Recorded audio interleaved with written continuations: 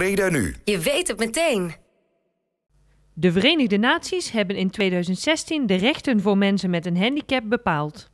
Door middel van platform Breda voor iedereen zijn de gemeente Breda en alle politieke partijen bezig om Breda geschikt te maken voor mensen met een beperking.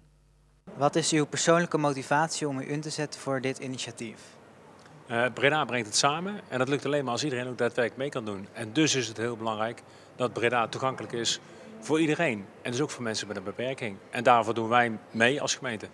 Wat voor problemen komt u tegen in het dagelijks leven? Je hebt allerlei soorten toegankelijkheid. Je hebt fysieke toegankelijkheid. Uh, je hebt toegankelijkheid uh, op werk. Toegankelijkheid uh, voor opleiding is belangrijk. maar over fysieke toegankelijkheid kom je de meest banale beperkingen tegen als drempels of trapjes of te kleine liften of geen toilet hoor heel vaak. Uh, ja, dat soort beperkingen komen tegen. Uh, Breda, uh, de gemeente heeft zich samen met ondernemers, met mensen met beperkingen, ontzettend hard gemaakt de afgelopen jaren om toegankelijkheid een onderwerp te maken van ons allemaal. Steeds meer mensen wonen langer zelfstandig thuis, mensen met beperkingen ook. En we vinden het als gemeente heel belangrijk dat echt iedereen mee kan doen. Dat je dan ook zelf je boodschappen kunt doen, dat je met het openbaar vervoer kan en dat jonge mensen met beperkingen ook volop uit kunnen, meegaan naar feesten, naar evenementen.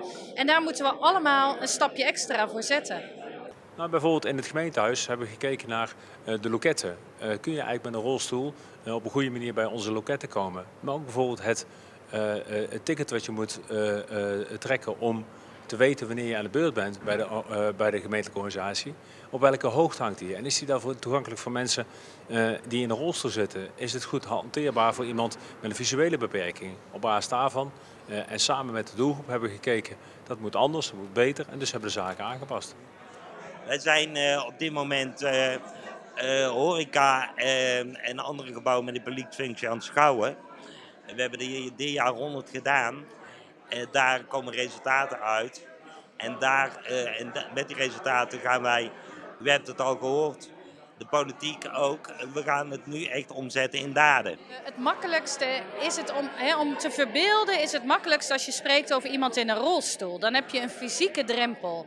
Maar je hebt ook mentale drempels. En mensen met een geestelijke beperking, mensen met een zwaar uh, verstandelijke beperking, die durven vaak ook bijvoorbeeld niet met het openbaar vervoer te reizen.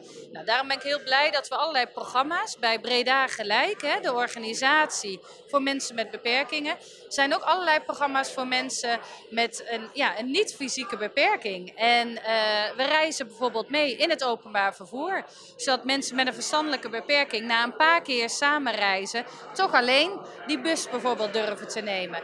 Maar de aandacht voor mensen met uh, psychische beperkingen, die moet echt nog groter in onze samenleving. Ook bijvoorbeeld als het gaat om het toeleiden naar werk, naar betaald werk. Want daar blijft deze groep ook een beetje achter. Breda nu. Je weet het meteen.